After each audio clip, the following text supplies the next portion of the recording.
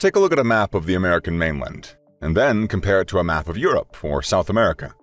You'll notice that the majority of the US states are square or rectangular shaped, particularly in the Midwest and Western states. Even countries with similar colonial histories like Canada and Australia have uniquely shaped provinces and states. In fact, if you were to look at an American map without the state names, would you be confident in naming each one accurately? Because of the largely grid-like pattern of some states, being able to quickly differentiate Nebraska, Colorado, and Utah could be trickier than it sounds. Why then does America have so many square states? Were they created out of a concept of equality, or was it more to do with a stricter adherence to land sizes? Well, it's a combination of both, actually, plus one or two other deciding factors. When America won the War of Independence in 1776, the 13 colonies in the east became official states. To the west lay over 400 square kilometers, roughly 155 square miles, of unsettled land, just waiting to be snapped up. However, the new federal government was keen to allocate land plots more stringently. The most important thing was to establish new territories as American land before they fell into the hands of rival governments like France and England. The plan was to subdivide the vast interior and sell off plots of land for federal revenue. If possible, the new plots of land would be divided up into evenly sized parcels that would remain uniform across the country. The original 13 states from Massachusetts down to Georgia had boundaries that were drawn up as they were established. These state borders were often dictated and defined by the surrounding landscapes, such as mountain ranges and rivers, which led to an uneven pattern of shaped states and sizes, with some triangular shaped and others jutting inland from the coast. Many people thought that a more consistent system of dividing up land would be better, as America turned its attention to the mass of uncolonized land to the west. Thomas Jefferson played an active role in setting up the new system of land planning. Much of Jefferson's core values were based on the concept of equality and opportunities for all. Ideally, he wanted to shape a nation where everyone had the right to acquire equal sizes of land, which led to the creation of the Land Ordinance of 1785. This was a system that allowed settlers to purchase individual lots of land based on north to south and east to west grids. Jefferson suggested that new states in the Midwest should follow a pattern of 2 degrees latitude by 4 degrees longitude. This amounted to a state border being roughly 220 kilometers, 137 miles in height, and 440 kilometers, or 273 miles, in width. The logic was simple. Square-shaped lots of land were easy to draw up, and they could merge increasingly larger squares of towns and then counties. The Land Ordinance created the Rectangular Survey System, or Public Land Survey System, otherwise known as the PLSS. The job of the PLSS was to decide and impose strict guidelines on how land would be subdivided. While the new state borders didn't stick exactly to Jefferson's suggested measurements, the land plots would follow his recommended rectangular shaped grids. This would then form districts, which formed towns, and then regions, and then eventually entire states. For example, the PLSS decreed that towns should be roughly 6 square miles or 9 square kilometers and running due north to south. It went on to rule that towns and countries should meet each other at right angles, thus maintaining the grid system. The idea was for this to create a series of square and rectangular shaped plots of land that would connect and form larger square shaped regions. This concept was first put into action in eastern Ohio in a land tract called the Seven Ranges. The Seven Ranges was set up just west of the Ohio River. The chunk of land was measured out at 68 kilometers, 42 miles, along the horizontal northern border, and 146 kilometers, roughly 90 miles, for the vertical west, with the southern and eastern borders lying on the Ohio River. As dictated by the new survey instructions, this was then subdivided into smaller and smaller blocks. The smaller pieces of land became counties, and within counties were townships.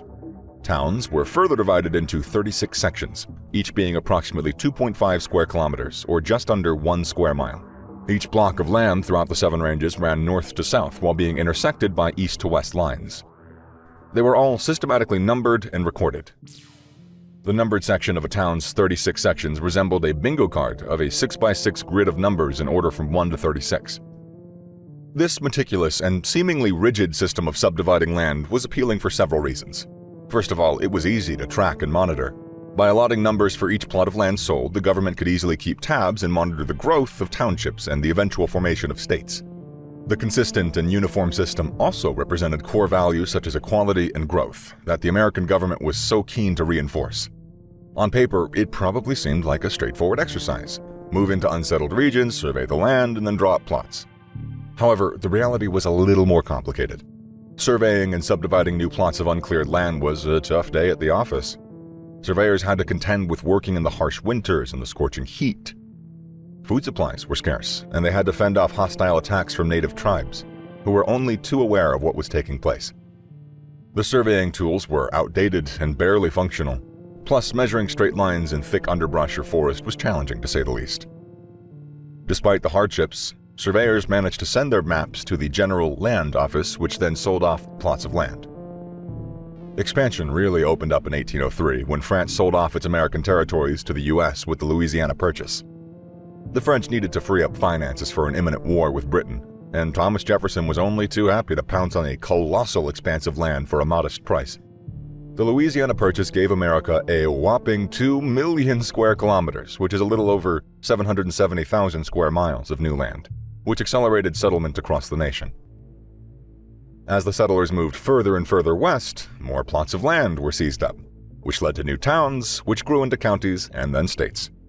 Many of the newly formed states were far bigger than the first visualized by Jefferson. Washington, Wyoming, Colorado, Oregon, North Dakota, and South Dakota were all roughly 770 kilometers or 480 miles wide. And North and South Dakota, Kansas, and Nebraska are around 320 kilometers or 200 miles in height. Some states, such as Texas and California, were the only exception to the rule. These huge states were already more or less formed and had been partially settled by the Spanish. By the early 19th century, both states also wielded considerable political power, making Congress wary of upsetting the apple cart by redefining their borders. Sticking to the grid system of land allocation elsewhere was contrarily made easier due to much of the new land being uninhabited, at least by other settlers which meant that nobody could protest about unfair border rulings or subdivisions. Surveyors simply traveled across the vast Midwest and Western regions, drawing up grids and selling them off as they went. The development of America's vast railway network also meant that surveyors no longer had to stick close to rivers. Until the railway boom, settlements were made in proximity to rivers, which were a major form of transport and access to supplies.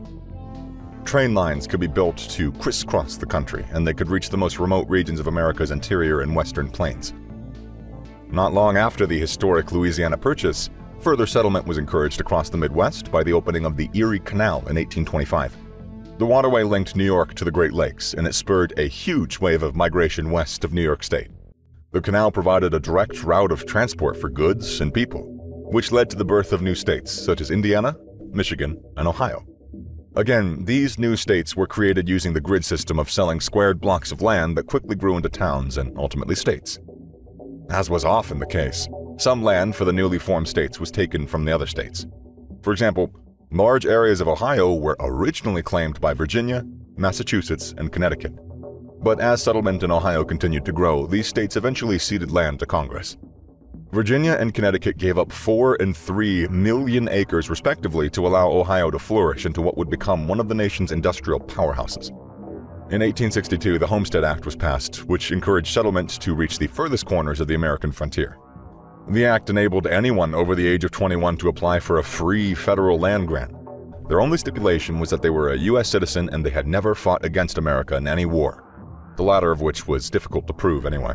North Dakota, Nebraska, Colorado, and Montana particularly benefited from the Homestead Act, as settlers rushed to acquire sizable plots of arable land.